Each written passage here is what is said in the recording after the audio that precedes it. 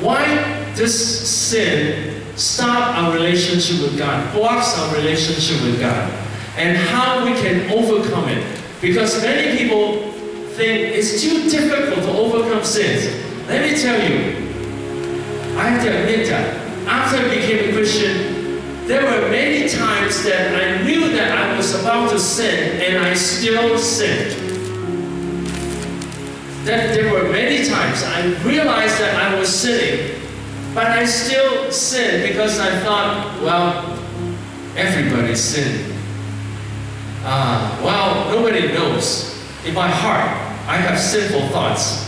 Nobody knows. Or just give me a break. Let me sin this time. It has happened to me so many times. But after I experienced the Holy Spirit in 1998, actually 15 years after I became a pastor, and then, uh, where's the music? I don't need the music. Sorry, thank you. So that it, it will, the, the recording will be clearer and then you can hear me clearer too. But after experiencing the Holy Spirit, I find that first, the relationship with God is so sweet. Even though when I first believed in Jesus, I already noticed I have peace and have joy when I praise God. But I did not realize I can go deeper and deeper and deeper. But in 1998, when that evangelist laid hand on me, and I experienced that great love of God filling my heart, I said, I didn't know that. That relationship with God can be so deep and so enjoyable. And so I spent a lot of time praying, and it transformed my way of thinking about God. In the past, I think of God as being far away. But starting that day, I realized God is very close to me. And I can have that very intimate relationship. And then when I pray for my church members and other people, I found that many of them experience the Holy Spirit right away. And I realized that I can carry the anointing of God. And then one day, God taught me something. One day I called somebody on the phone and I shared about my experience of the Holy Spirit. But this person did not believe in the infilling of the Holy Spirit. And she got angry. Now at that time, anytime I prayed, the joy of the Lord would keep flowing through me. But at that moment, after I finished talking with her because she was angry, I was affected by her, and I hang up the phone, and then I pray again, I found that I had no joy. I found that my heart was blocked because I was affected by the emotion. And then the thought just came to me, I have to handle it. So I called her up again and I said, if I made you unhappy, I'm sorry. Actually, I did not do anything wrong. I just shared. But she did not believe that. And so she was angry. And then I just say, if I made you unhappy, please forgive me. But she was still angry. But after I hang up the phone, I said, I already took care of that. And she did not accept it. So it's not my responsibility. And then I pray again. And I found joy in me again. The joy kept flowing through me. And then God gave me this message. From now on, any problems you have, take care of it like this. Any negative emotions, any kind of problem, any kind of sin, take care of it right away. So starting that day, any when I notice any negative emotions, negative thinking, any sinful thoughts, I took care of that right away because I know that it blocks the relationship with God. I want to keep the joy of the Lord. I want to keep the anointing of the Holy Spirit Then I can bless more people. And I don't want to make God unhappy. And I found that it works. With the presence of God, it works to overcome sins and any kind of negative thoughts. Let me ask you, for your whole day, are you sometimes affected by people? Are you sometimes affected by your family members? Maybe someone, maybe your husband, your wife, when they yell at you, for the whole day you feel unhappy. Or when we have some sinful thoughts, we say, it's too hard to overcome sins. And so many people will say, well, I give up on complete holiness. I, I just cannot reach it. I want to tell you, nobody can be perfectly holy. But I found that I can face my sins and handle my sins the moment it appears in my mind.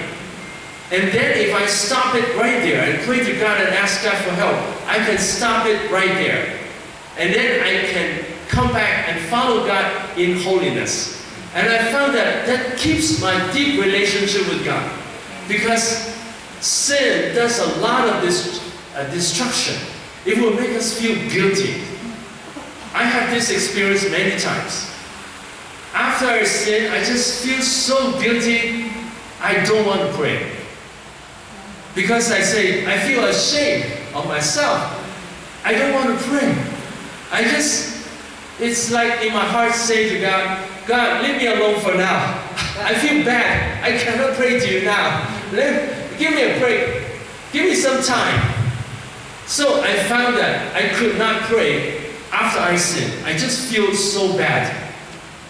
And I know that this is bad. It would, it would you know, affect my relationship with God and it affect also my ministry. And I, after I experienced the Holy Spirit, I found that in the meetings, many people experience the Holy Spirit. Like last night, so many people experience the Holy Spirit, and some people experience stronger than others, but it doesn't matter. It doesn't matter. When you see some people experience the Holy Spirit so strongly, you can also, you know, follow that way. And then you can experience Him stronger and stronger, and you can carry the anointing of God. And I found that every meeting, so many people's lives are changed. I said, God, this is wonderful. If I can change so many people in one meeting, if I keep doing it, that means more and more people will be changed. That means in my whole lifetime, since I experienced the Holy Spirit, I can change tens of thousands, or maybe even hundreds of thousands or maybe even millions or tens of millions people. You never know how many people you can change. So I said to myself, I don't want to let anything block my life. And you know, I listen to the Bible all the time. I have a little player of the Bible. I listen to it all the time. And one time I heard uh, Matthew 25 about the, um, the talents, the parable of the talents. One servant with five talents, one with two, and one was with one. And then the, the man with the five talents earned five more talents. And then Jesus said to him, and the master said to him, You're good and faithful servants. You have been faithful in a few things. Have you noticed that in the Bible? I've heard that many times. I've read that many times. Suddenly, at that time, God spoke to me. God said, You have been faithful in a few things. And I said, How come the man with the five talents have been faithful in a few things? Then I examined myself and I said, Yes, sometimes in a whole daytime, we might be busy doing a lot of things. We might be thinking about, worrying about a lot of things. And then when we stop, we might pray but then after that, after we prayed, we kept uh, being busy and doing other things. So a lot of time, a whole day, maybe a small portion of it is dedicated to God. So in that small period of time, we might be faithful in a few things. So that thought came to me, and then I said, Lord, I can stay joyful for the whole day, and then when I'm joyful, I will be glorifying God, and then also I can keep myself thinking about God and keep myself away from sins. And so I try to keep myself being joyful for the whole day. You know, I've learned to with the joy of the Lord even when I'm talking to you. even when I'm concentrating in a message, I can learn to love God from my heart at the same time. And when I'm doing other simple things, I'll be praising God and loving God, and I can feel His presence all the time. So I'm filled with the joy of the Lord and the thought of God all the time. My thought is, that man, God said to him, You have been faithful in a few things. At least I want God to say, You have been faithful in more things than before. That's what I see. That one day God will say to me, You have been faithful in more things than before because you have been concentrated on me all the time. You have been thinking about me all the time. You have been thinking about glorifying me all the time. That's why you are faithful in more things than before. Do you want that? That you're faithful in more things, that God is pleased with you and say, you're a good and faithful servant. So it's a matter of fact that many people who are very faithful, yet for you know many hours in a day, they might not be thinking about God. So I encourage you to let the thought of God fill your heart all the time. And let the holiness of God, the you know, sometimes people like, you know, we all like the the grace of God, the love of God, right? I mean, that's good. It feels good to think about the love of God. But many people don't like the commandment of God. To follow this, to follow that, and people sometimes don't like that. But after I experience the Holy Spirit, I love the commandment of God. I tell you why. When you go to heaven, imagine there's another Christian that might not like you very much on earth. Let me ask you. Are there some Christians, sometimes they might not like you in some ways? Have you met Christians like that? That Christians still have problems, right? But let me ask you. When you go to heaven, this person who might not like you very much on earth, when you go to heaven and see, when you see that person, would that person still turn his face away from you to avoid you? Or would he welcome you? I'm so happy to see you here. And you say, wow, I like that. On earth, this person sometimes avoided me. But now in heaven, he likes me. Do you like that?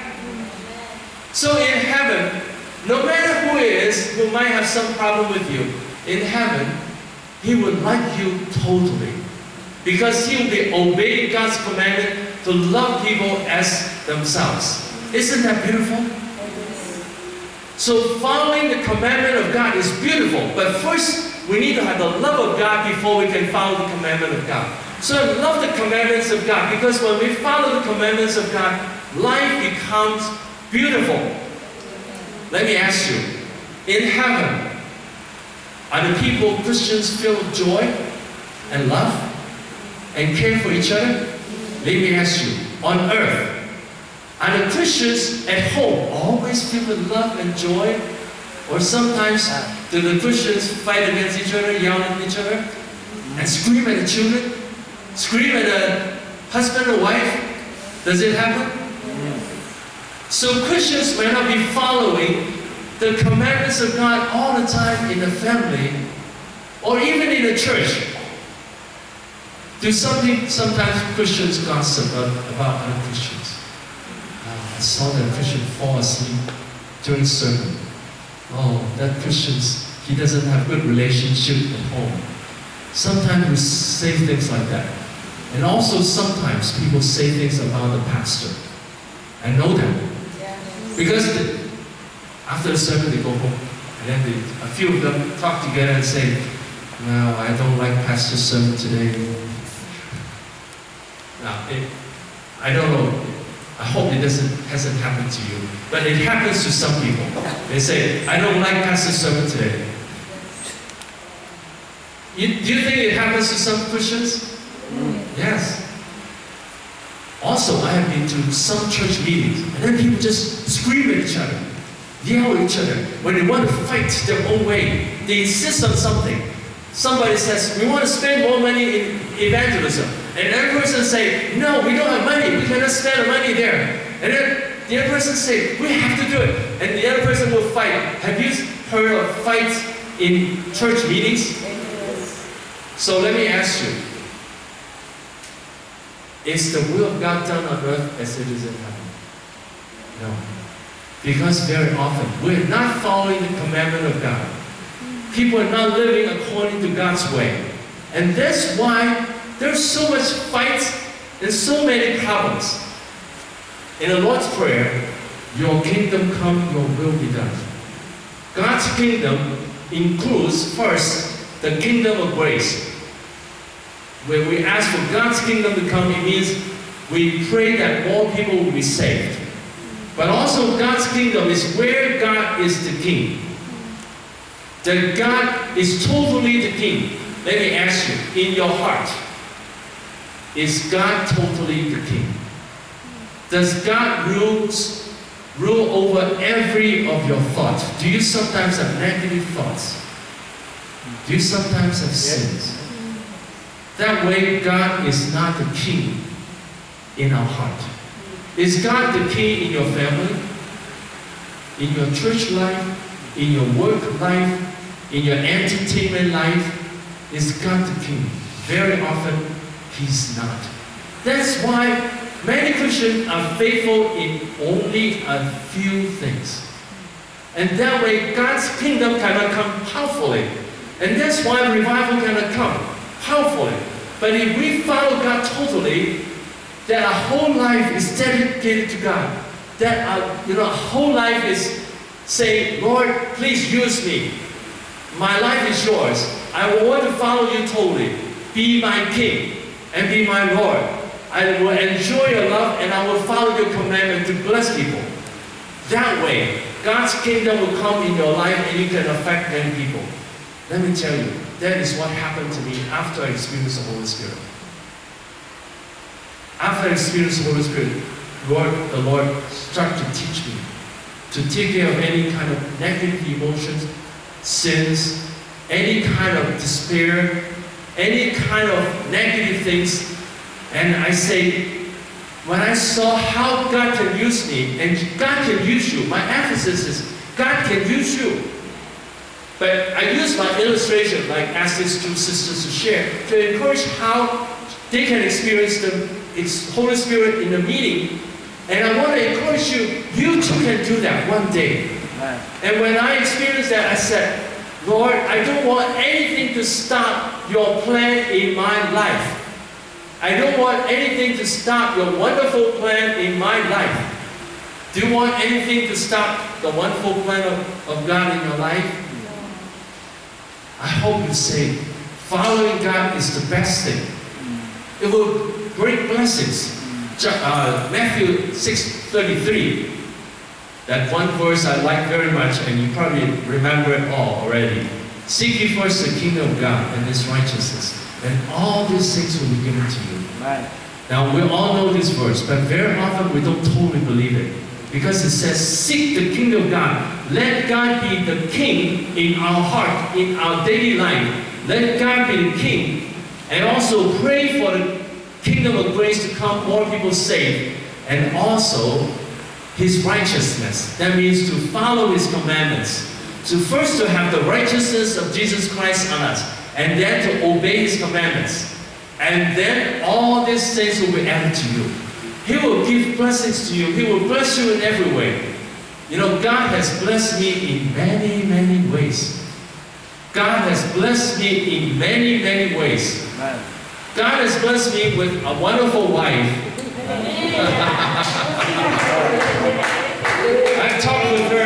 already today. that you saw a picture. It's also my cell phone. That really, she's wonderful. She's so loving to me. God has blessed me with good health. I'm 64.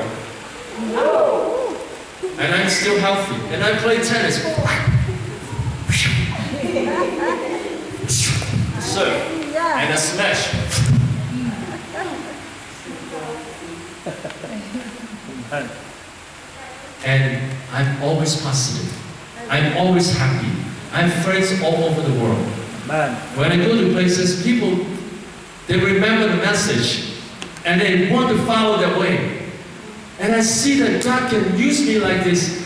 And I want to tell you, my teachings are yours. I give it to you as a free gift, no copyright. You can use my material and spread the gospel and preach to help people to follow God. And I treasure God so much because I've seen so many people change.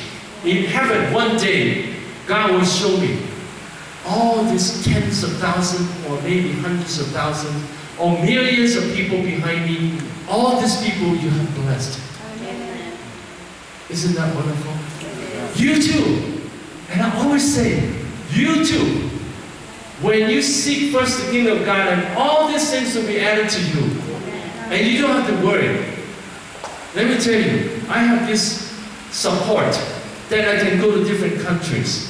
I thank God for that. That I can bring blessings to Pastor Nicholas and your pastor. I'm happy to do that. I'm happy to bring blessing to people. Amen. What I have, I'm happy to share. Amen. And I can go to different countries and say to them, please help me go to different African countries and other countries that you know. So that I will bless more people. I just want to, I want to live longer. I, you know, I'm happy if I go to heaven today. If I die today, I'm happy because I like heaven. But I will not be satisfied because even if I die in 70 years old, if I retire at 70 years old, you know, some people retire at 70. I mean, already that's a retiring age. But I won't be satisfied because it's only six years from now.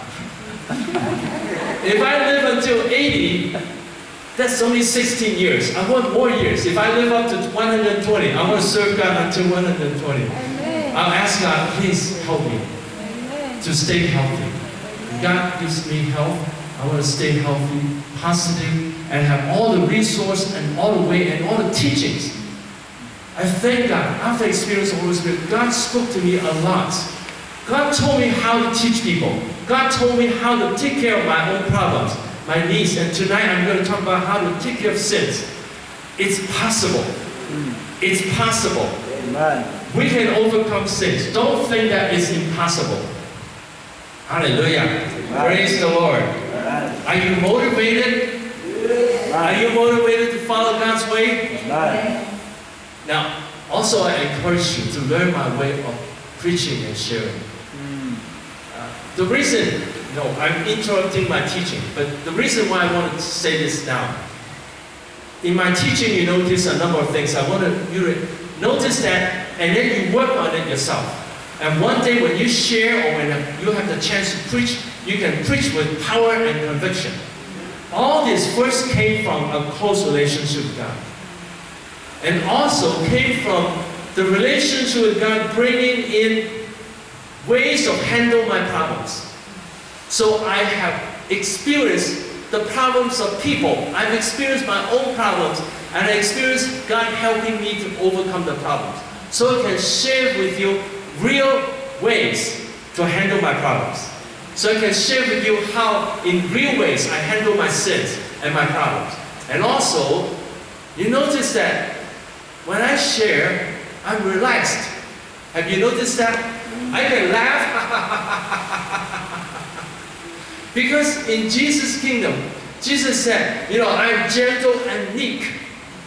Take my yoke and learn from me, and you'll find rest in your heart. Because my yoke is easy. Because God's yoke is easy. And God's way is easy. That we can relax. We don't have to be under tension. And God wants us to be relaxed and peaceful. So you notice that when I share, I'm relaxed. And also you notice that when I share, I share with feelings. Not just with stirred words, but with feelings. And you can hear my feelings from the way I talk and also from my expressions. And from my body too. You know, some people learn to preach and then they say, they move the arm, it seems like God, for God so loved the world that He gave His only Son, know how to move. But let me tell you how to move. Move from the feet, from the legs. Hallelujah! Praise the Lord! From the feet, then it becomes very easy. When you lead praise and worship, oh, hallelujah! So move from the feet, and your whole person will be very, very relaxed, and also always enjoy God and smile in the presence of God. There are all reasons that we should be smiling because God is so wonderful and God is so good. Hallelujah. So you can notice how I teach and how I teach in real ways to, you know, to uh, affect people, influence people, and you learn too. Because this conviction came from my heart that I really want to follow God totally. And I hope that when you hear, God will touch you in your heart and, Amen. and you will say, Yes, Lord, I want to follow you totally. I don't want to waste my life Amen. because we can only live this life once. We can only live this life once. Amen. If you waste your life, you cannot go back to your life again. You, there's only one time that we live this life. And we live this life to the fullest, you will not regret it. But if you live, waste your life, you regret it greatly. Okay, now we talk about how to overcome sins. Hallelujah. Praise the Lord. Praise the Lord. Now it's very important, first we know that in Galatians chapter 6, verse 8, it's very important to understand the consequence of sin. To understand is very destructive. Galatians chapter 6, verse 8. Whoever sows to please the flesh, from the flesh they will reap destruction. Any sin brings destruction. But some Christians, they say, I'm very smart. I will trust in Jesus as my Savior so I go to heaven. But then I'll commit some secret sin. But some small sin. Well, it won't affect my, my salvation. I'll tr- confess my sin and trust in Jesus. Have you had thoughts like that? I'll still trust in Jesus and follow Him, but I just commit some sins. I just get angry sometimes. I'll yell at people sometimes. I'll have lustful thoughts in my mind sometimes. Uh, But other times I'll repent and ask God to forgive. Do you think there are Christians like that? There are many Christians like that. They will just say, I follow Jesus so I can go to heaven. I believe in Jesus, but I just have some secret sins. Lord Jesus, please leave me alone when I sin. Just let me sin. But we have to believe that every single sin is destructive. Every sin is destructive. You might say, how? Let me explain. When you do not like somebody, if someone, when you see when you see the person, you feel unhappy. Let me ask you. If it's your neighbor, your friend, or someone in the church, if there's someone in the church you don't like, or someone somewhere in your place of work you don't like, when you go to work, do you think about that person? Or if you don't like your husband or your family members, do you sometimes say, I don't like to see him. The moment he appears, I don't like that. Has that happened to you? So it affects our peace, right? And then it will take away the peace from God. You won't be able to be joyful and free because you have this one person blocking the peace of God. So then God told, me, any kind of negative thoughts about somebody, when we don't like somebody, it will affect our heart that we won't have peace, that we won't be able to come to God with freedom. You notice when I pray, Hallelujah! this freedom, I tell you, it did not come from one day. Because I've handled many, many problems in the past. Many people have said negative, negative things to me. But I choose to know that what they say are sinful words. And sinful words are destructive. And I won't let those destructive words come to me. It came from that experience I told you about when I called the person. So I noticed that people like to talk negatively. Do you have people like that around you? Sometimes if you, people say things that hurt you, and when they say things that hurt you, does it affect your heart? Sometimes you have resentment, right? It's hard to forgive the person. Sometimes you don't even want to look at the person. So it affects our peace. It takes away our peace. And it makes it hard for us to love that person. And we might have anger. And sometimes we even have thoughts like this. I hope something bad will happen to that person. But this is terrible. This can affect our spiritual life. And, and the Bible said, he who hates your brother is committing murder. And there is no eternal life in such a person. And so it's destructive. So how do I handle that? God told me a way. When people talk negatively to us, those are negative inputs. Those are bad things. Negative words from people. Now, from God, all the words from God are beautiful and wonderful, right? Or from good Christians, from Christians who love God. Generally, what they say to you are good things, right? Do you choose to accept to let good things come into your heart or let negative things come to your heart? Should we choose good things or bad things? Good things, right? But let me ask you do most people think about the good things the pastor preach about? And a good word in the, in the Bible? Or do they think about, oh, my husband doesn't treat me well. My husband doesn't like me. Oh, the, my husband looked at another woman. Oh, I don't like that person. Let me ask you, what do people think about more? The good sermon, or the good Bible verses, or the negative things of people? People like to think about negative things. Have you noticed that? So that is like eating garbage. Do you eat garbage? You don't eat garbage, right? But people like to eat garbage. We like to think about the bad things and then we think about it over and over. Meditate over and over again. When Mary heard from the angel that she's going to give birth to Jesus. She thought about that over and over. The good things. But very often people think about the bad things. And in that way, they sow to the flesh and they will reap destruction. But people didn't know that. And many Christians, many Christians, what they think about for the whole day time are negative things, difficulties. Life is difficult. Oh, I don't want to live. It's too hard. And the people are bad. The society is not good. People like to think about these negative things. And God taught me this.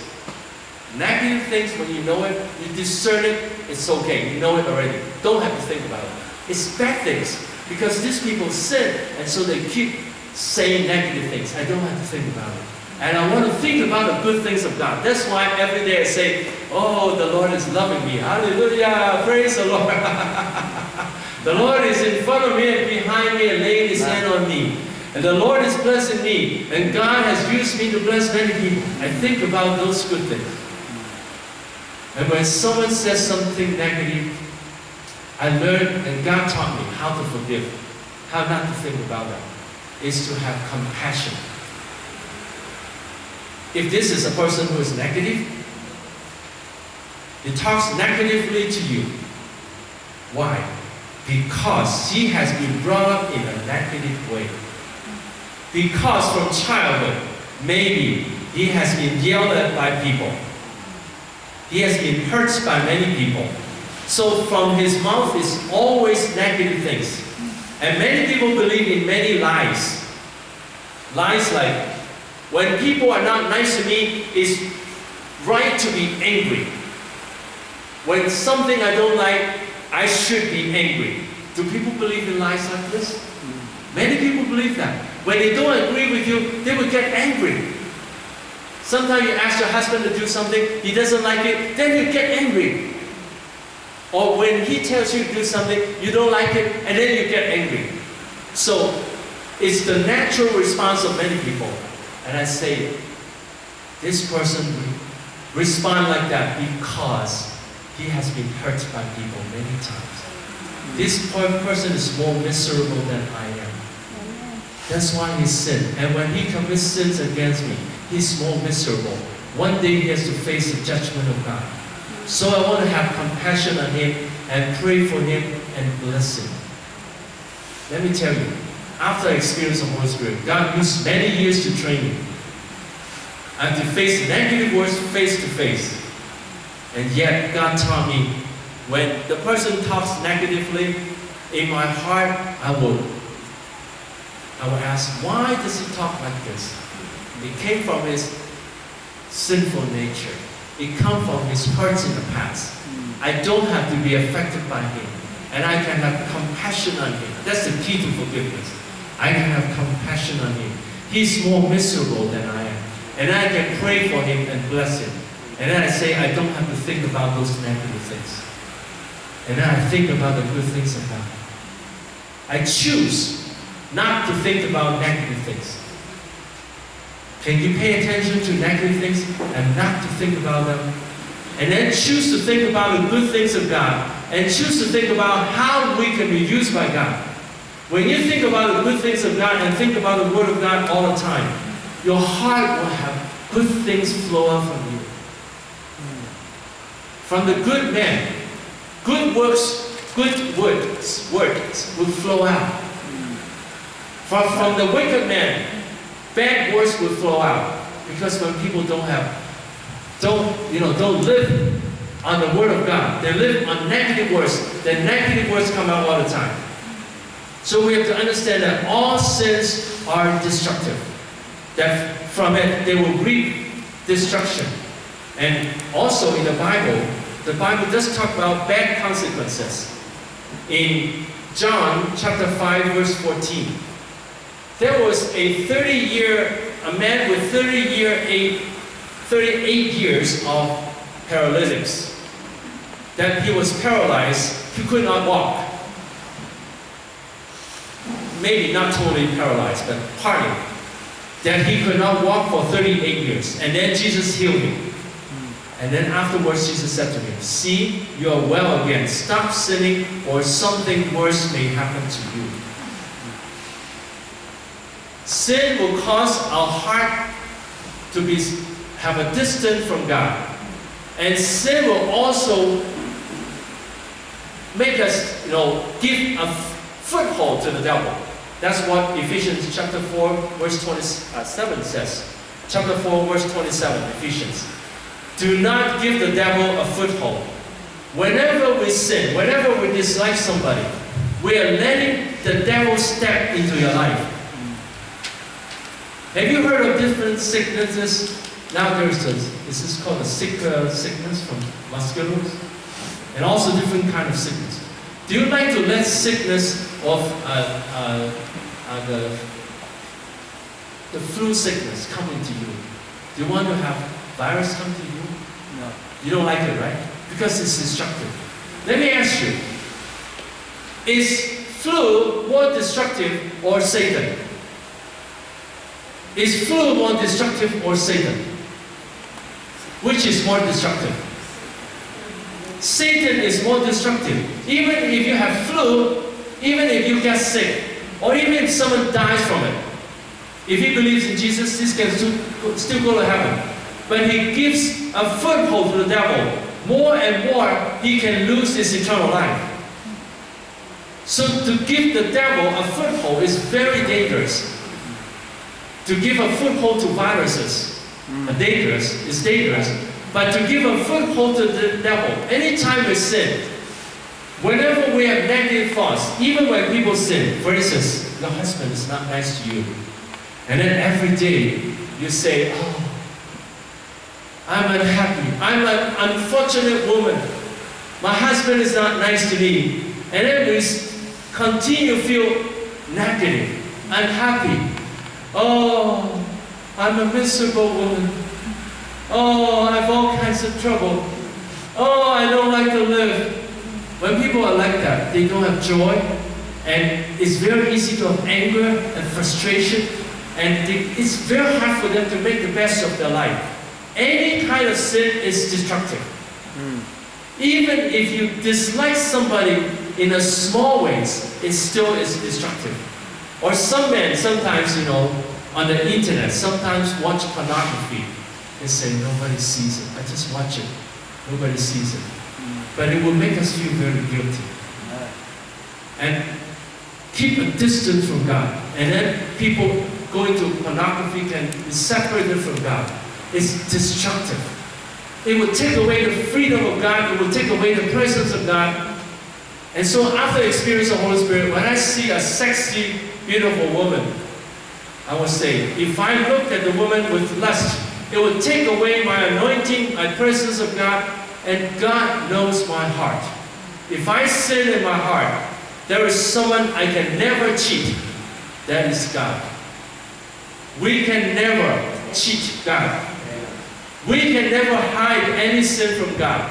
So that thought came to me. So, in many cases, when I see sexy women with sexy clothes, I just turn my eyes away. I know this is destructive. I turn my eyes away.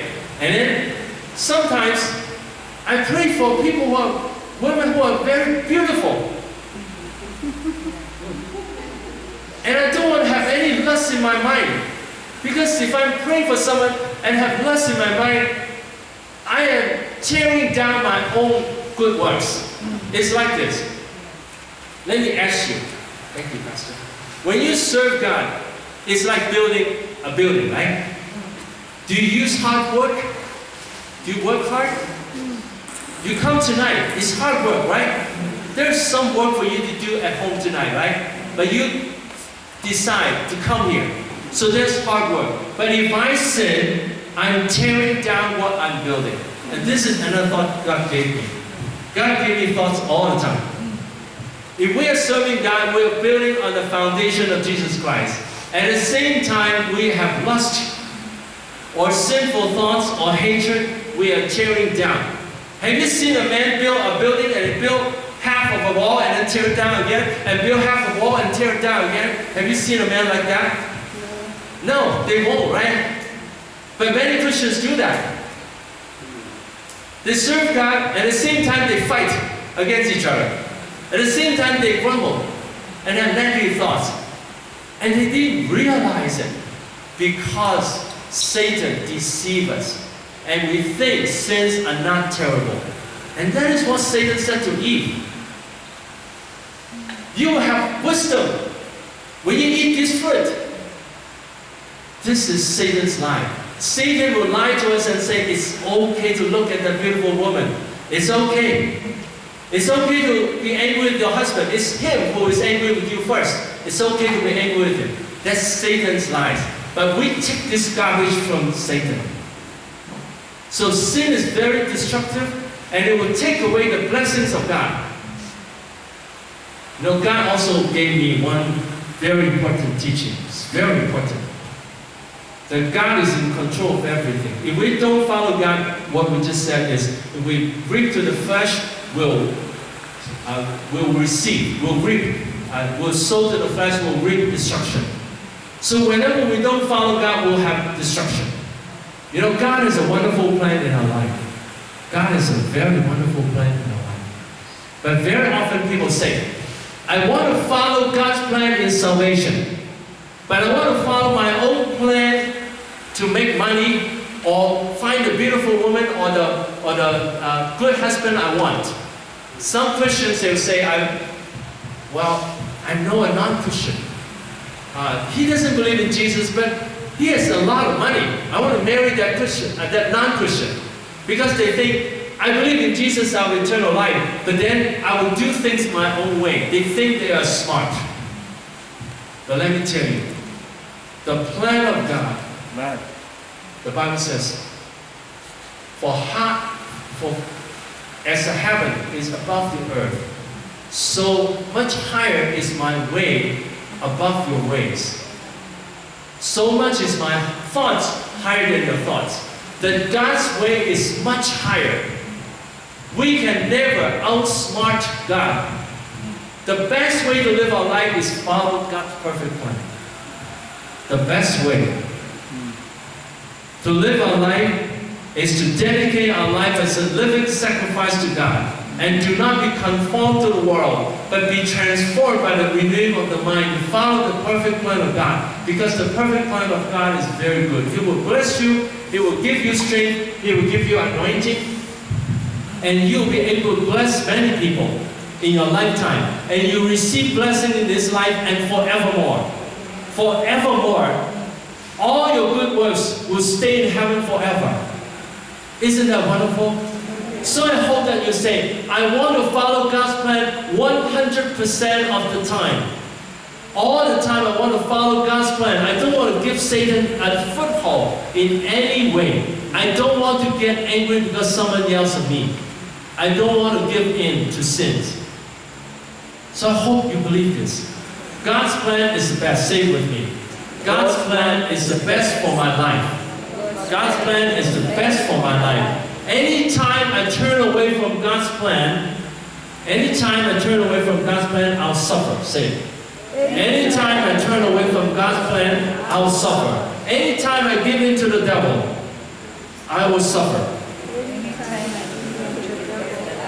Anytime I eat garbage, I will suffer.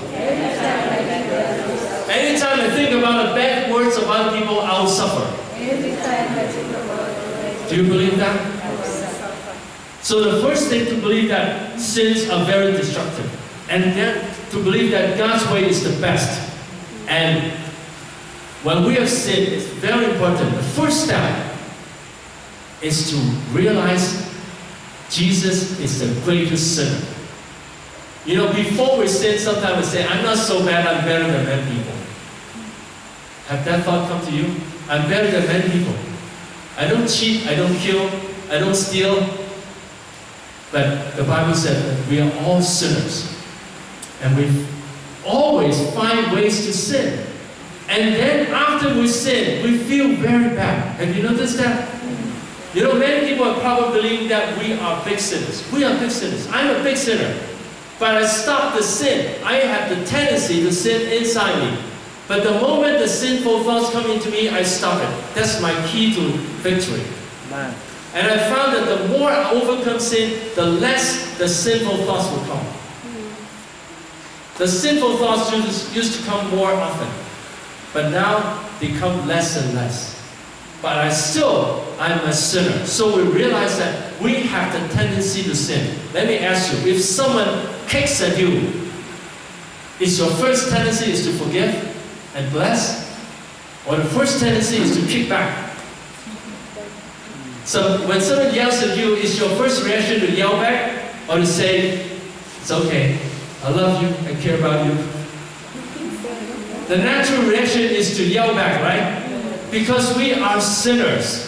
So we need to realize that we are sinners and we have the tendency to sin. The first thing to realize that yes, we are sinners, but we have a big Savior for big sinners. So when we have sinned, we realize the sins are all paid for. Sometimes we ask, you have sinned against someone. I use an illustration. You come to someone's home, and a person says, don't hit that vase. That vase is very important. It's very expensive. And then you come and look at the vase. I like it. I like it. This is beautiful. And you play with it. And then fell to the ground. And, and then it broke. And you tell the person, I'm sorry. I broke your vase. Would the person say, oh, no problem, no problem, I'll forgive you? Would the person say that? No. No. It would be very hard for him to forgive you. Okay, the next time you go to his home, he said, be very careful. And then you look at something else. And then you break it again. And then you say, I'm very sorry. I'm very, very sorry. I broke something again. Please forgive me. Even if the person says, I forgive you, he'll say like this, I forgive you. he doesn't like to forgive, right? It's like that with people. But is God like that? No. But many people think God are like that. That's why when we say, God, I'm not, I'm afraid to see you. I'm afraid because I'm afraid you may not forgive me. But let me tell you, when Jesus died on the cross, God has made up his mind to forgive all people when they come in repentance to God. So if we confess our sins, he is faithful and just, and he will forgive all our sins and wash away all our, our unrighteousness.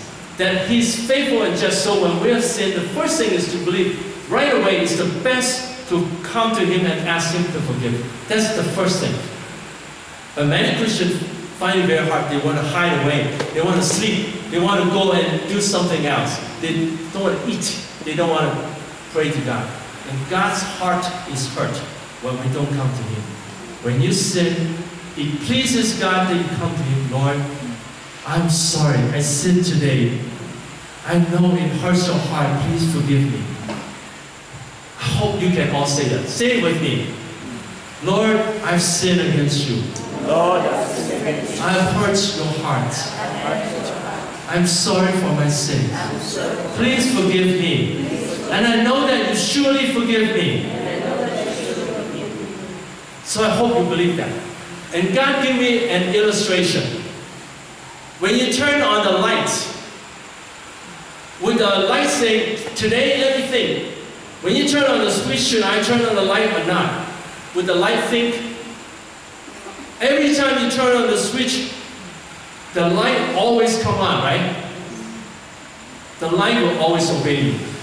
Let me tell you, God always obeys His promises. When He said He'll forgive you, He will always forgive you. So it's like turning a switch. Every time you confess your sin, He will surely forgive you. I hope you remember this. When we ask God to forgive, can say with me? When, when we ask God to forgive us, it's like turning a switch. The light will come on. And God will surely forgive us. So I hope you believe this. Okay, now I will talk about how to overcome sins. This is a very important part. First, I want to read the, the promise of God that we have victory in all things, that God has promised us that we can have victory in all things. In Romans 8:37. Romans 8:37. In all these things we are more than conquerors through him who loved us. We are more than conquerors through him who loved us. And God has shown me a way to overcome sin. And let me tell you, you have experienced this way too. I just took the copyright from God. Have you noticed that when you sin, you hear the voice of God inside you? You just feel bad, right? You feel guilty. And then you say, Lord, and then we might have a struggle. And then God uses the Bible to convince us to, to, to repent and turn away from the sin. And then you say, Lord, please forgive me. And then you say, Okay, Lord, I obey you. I won't tell a lie. Has this happened to you? That God speaks to you, and then you have a struggle, and then God uses His word on you, and then you pray, and then you choose to obey. Let me tell you, I just copied that from God. I noticed how God works in my life, and I put that into practice. I copied that from God. And I have a five step to victory. Please write this down. Five steps to victory. It's very important. First step, aware, aware of the sinful thoughts or negative thoughts or negative emotions. Anything negative, be aware. Now, if you stay in the joy of the Lord all day long, then it's easy to be aware. If you praise God all day long, when you are angry with someone, you notice it right away. When you worry, you notice it right away. The way to be aware of your sins is not to go into your heart to search, do I have, still have any sin? You don't have to do this. You just keep praising. Keep loving God. And then God will show you what sins you have. So first, aware. Second, destructive. Believe that this is destructive.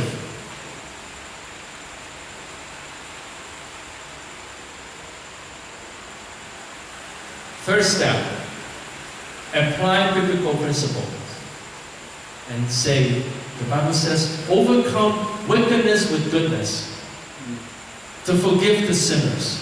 So apply biblical principle, number three. Number one is aware, A-W-A-R-E, aware of the sin negative thoughts.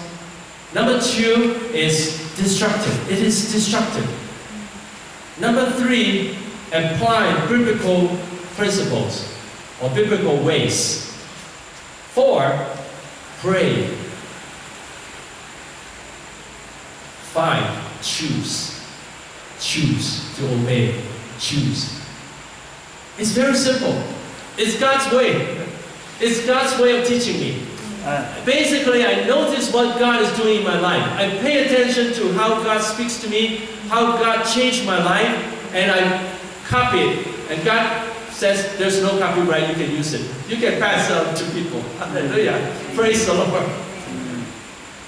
Let me use an illustration. The illustration I have before, when I see a sexy woman, I notice in my mind if there is any kind of lust, any kind of negative thoughts, I'm aware. Next step is destructive. If I let it control me, it's destructive. It will take away my peace, take away the presence of God, take away my marriage. I don't want anything to hurt my marriage. It's a gift from God. Number three, apply biblical principle. Biblical principle is any kind of sin is destructive. And love your wife to keep the marital relationship in a healthy way. That's the biblical principle. And not to let sin affect me. And then pray, Lord Jesus, help me.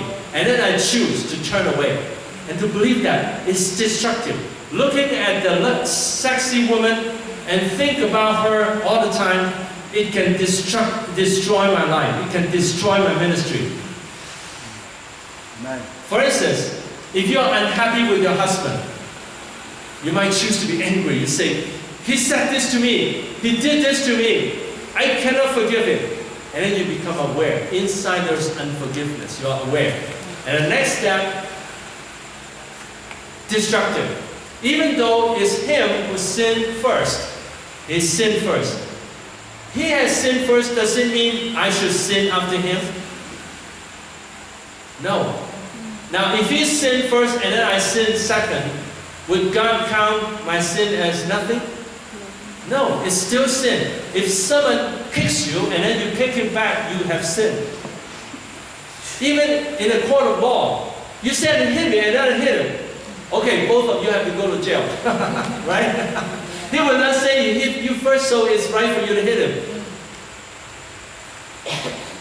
So, we know it's destructive. And then we say, okay, apply biblical principle. It's blessed to give, to forgive, and not to be affected by them. What can man do to me? What can man do to me? And then you pray, Lord Jesus, help me. Now, in your heart, you might say, oh, it's very hard to forgive my husband. Oh, he's such a bad husband. Oh, in my heart, I have anger.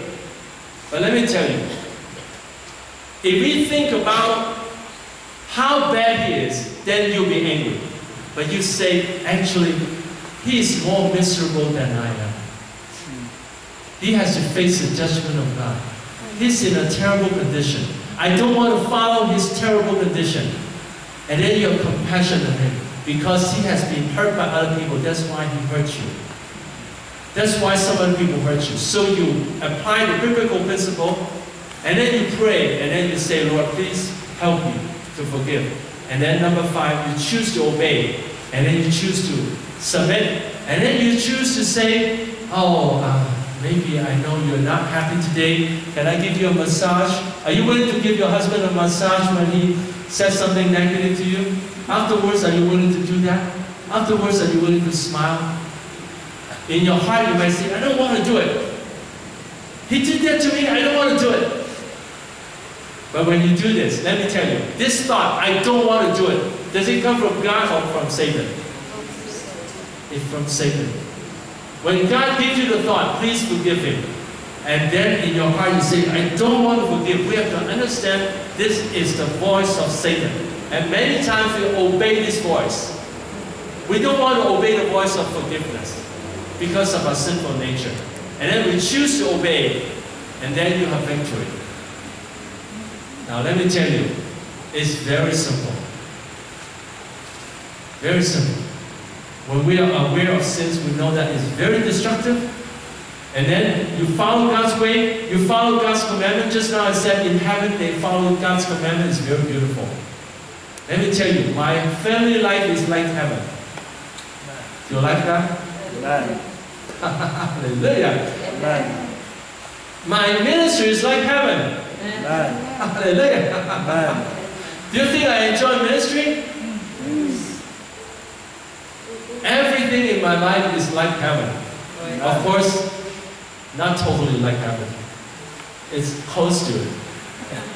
You know, I'm not perfect, but I try to live in the love of God, the blessings of God, and follow the commandment of God. Are the commandments of God good? Yes. Yes. So I follow God's way and I find that I have blessings all day long. I can enjoy blessings all day long. And I have the strength of the Lord and I have the anointing of God and I have the anointing of teaching. Amen. Everything I have. Isn't that beautiful?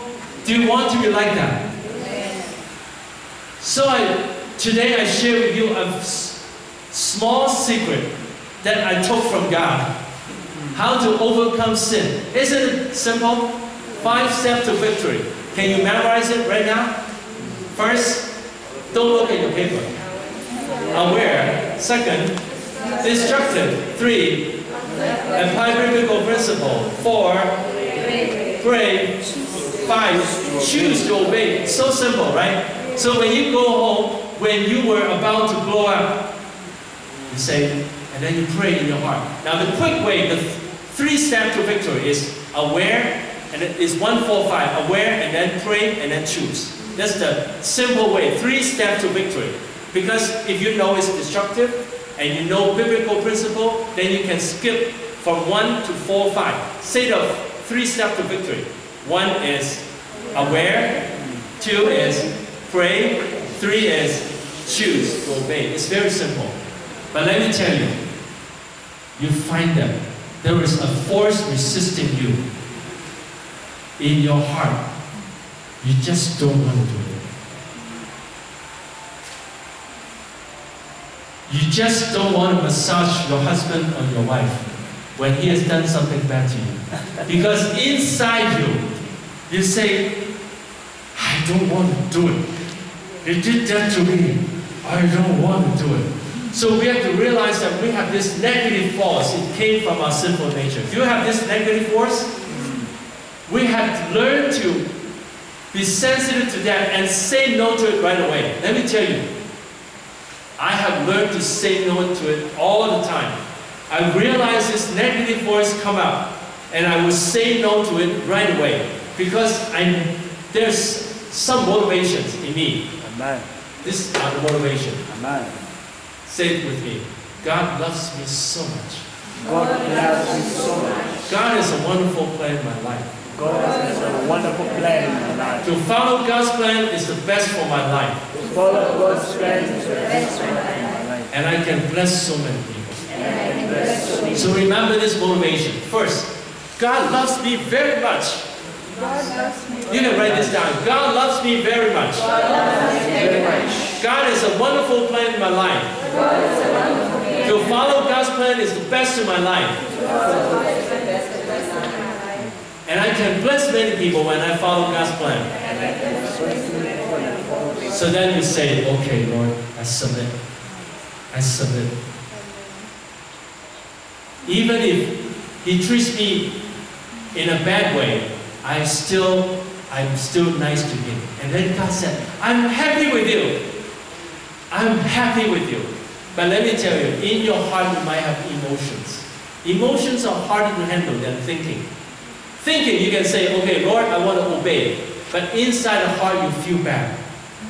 Or sometimes somebody hurts you. You want to forgive.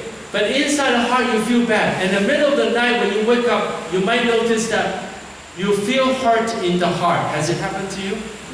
Somebody hurt you? You wake up in the middle of the night, you immediately think about that person who hurt you. And then you feel bad. That is the emotions affecting you. And I've noticed this. And I noticed little things in my life. After I experienced the Holy Spirit, I noticed every little thing. And then I try to handle it. And I learn from it. And I noticed that inside me, the emotions are hard to take care. And how do I overcome that? Let me tell you my secret. When we wake up in the morning, usually do you feel more fresh, right? Usually you can forget, for, forget yesterday's hurts better, right? At that time when you wake up, first thing you say, Hallelujah, the Lord loves me. Say it with me. Oh, the Lord loves me. Hallelujah. Say it with me. Hallelujah, the Lord loves me. I have all reason to be happy. Hallelujah, the Lord is looking at me with love. Hallelujah, God is blessing me. Hallelujah, I can rejoice. Ha, ha, ha. So start the morning like that. God is blessing me, God is loving me, then it's easier to take care of any kind of negative emotions. And for the whole time, whole day time like that. That way, any negative emotions will go away quicker. And then any negative emotions, take care of it right away and say, if I get angry, it hurts me. So I choose to forgive and think about Jesus. He took all my guilt on the cross, died for me. So I can take that hurt from the person. It's okay to be hurt. He cannot, and Jesus said, those who only hurt your body, do not be afraid. But those who hurt your body and your soul, then you have to be afraid. So if someone just says negative things to you, would that hurt your soul? No, it's just some sound in the ear, right? How long would the sound stay? If the person said, you fool, how long would that voice stay in the air?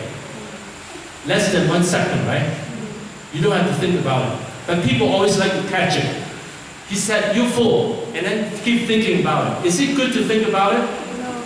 People like to catch garbage in the air. When people say something, we catch it.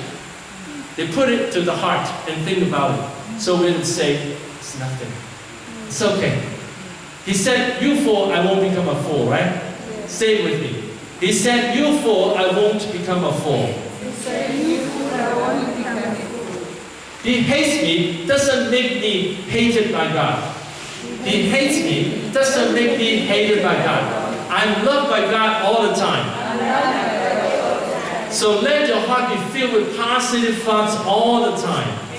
Hallelujah. And the Word of God all the time. In the presence of God and love of God, the peace of God. That way your heart will be pure, holy. Let me tell you, it's wonderful to live in the love of God and the holiness of God. If people live in the love of God but live in sin, it doesn't work. They don't mix together. Now let me ask you, I just share with you these simple ways. Let me tell you, you have to apply it.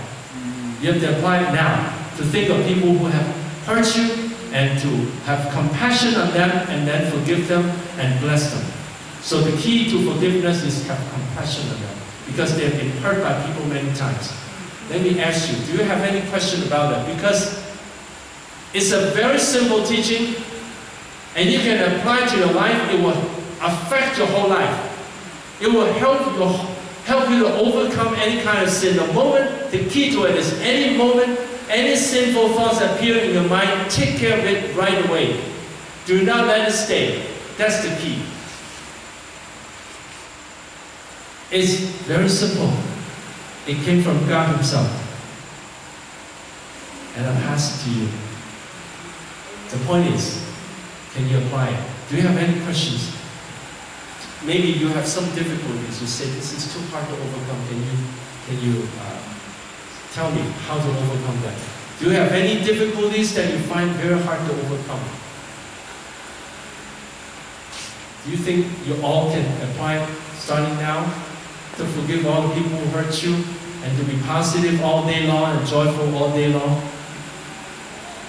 Let me tell you, it takes time. It takes time. But you don't have to say, let me keep sitting for a while and then I'll turn. Even though we try our best to overcome sin by the help of God, it still takes time for us to learn not to be affected by people. Are people talking negatively to me, yelling at me? I can look at a person and stay peaceful.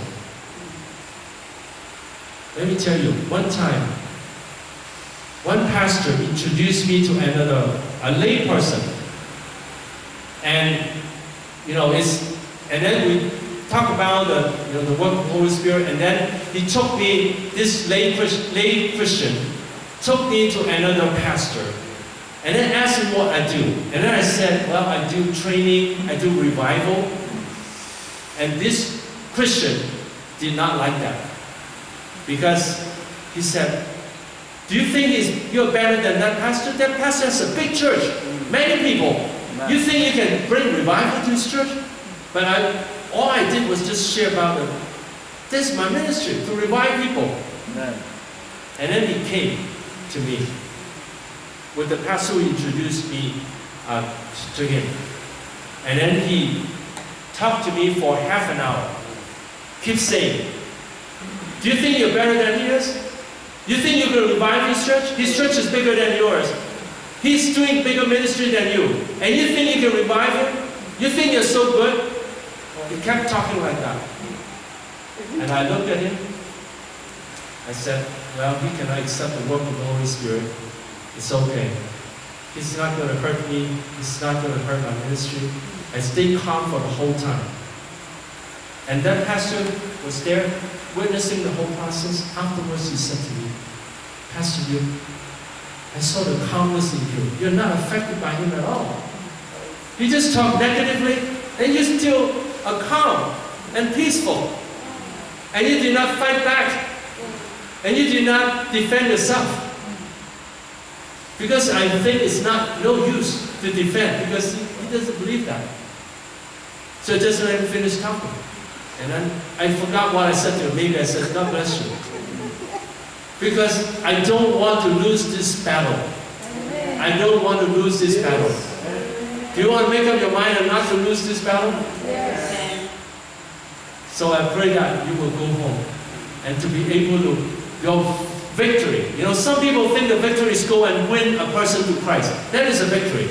But the first victory, the first battleground you have is to go home to your husband mm. and smile and do something nice and massage him and do something, give him some food that he likes.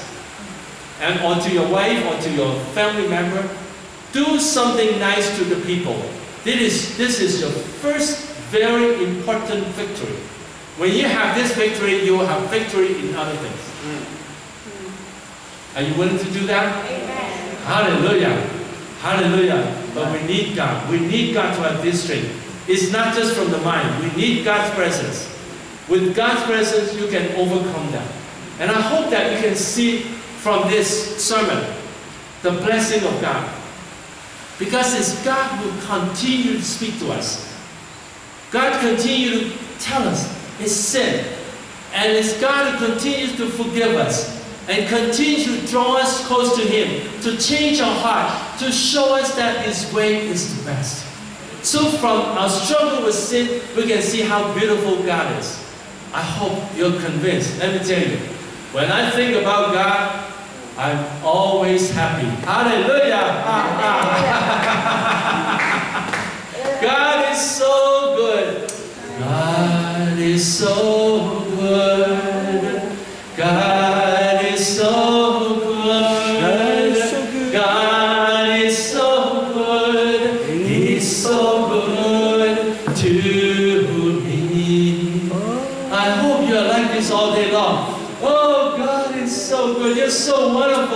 You speak to me all the time. You draw me to you.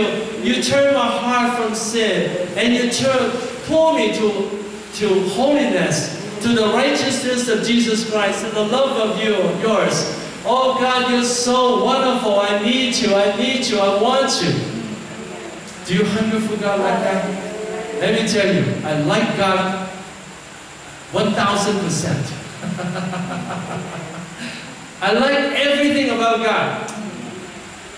I like everything about God. I like God so much. Anytime I think of God, I'm happy.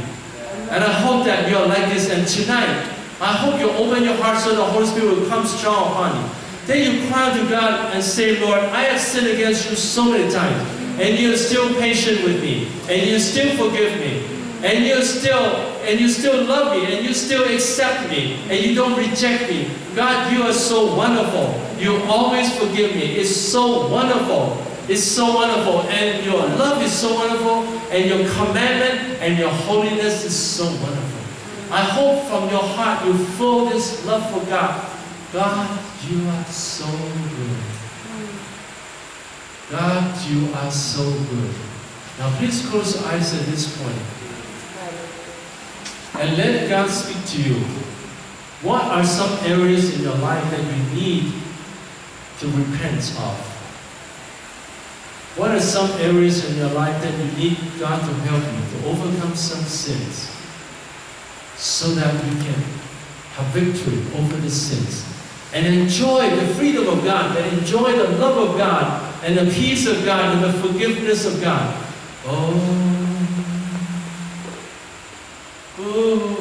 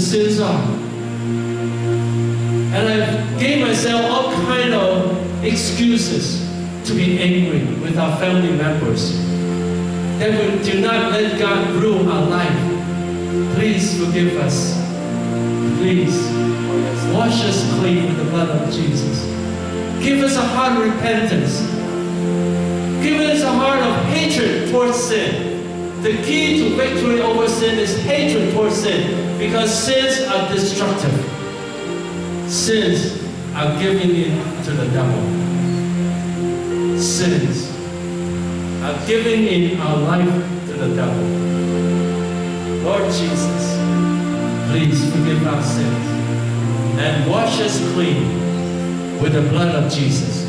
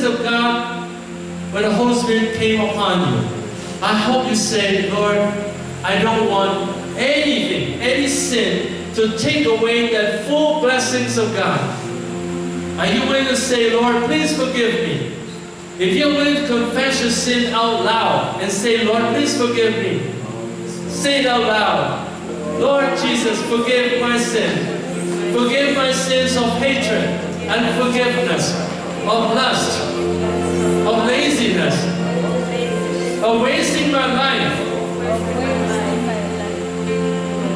of indifference, indifference to people, lack of love, lack of compassion, anger, frustration, jealousy. Oh Lord Jesus, and lack of love toward God. Help us, forgive us. Help us to hate these sins and know that it's so wonderful to live in the holiness of God. it's so wonderful to live in the holiness of God. I hope you all hunger for the holiness of God. To live in the, the holiness comparable to it. There is nothing comparable to it. With the love of God, with the holiness of God, it's beautiful like heaven. It's beautiful like heaven. It's beautiful like heaven. I hope God's Spirit touch, touches you right now. And turn your heart away from sins and say, Lord, help me. Lord, help me. Lord, revive my heart. Revive my heart. Help me to appreciate how great God's love is. Appreciate the holiness of God. I want my family to be full of holiness, even though my husband or wife might have anger. I still will live in peace and love and holiness.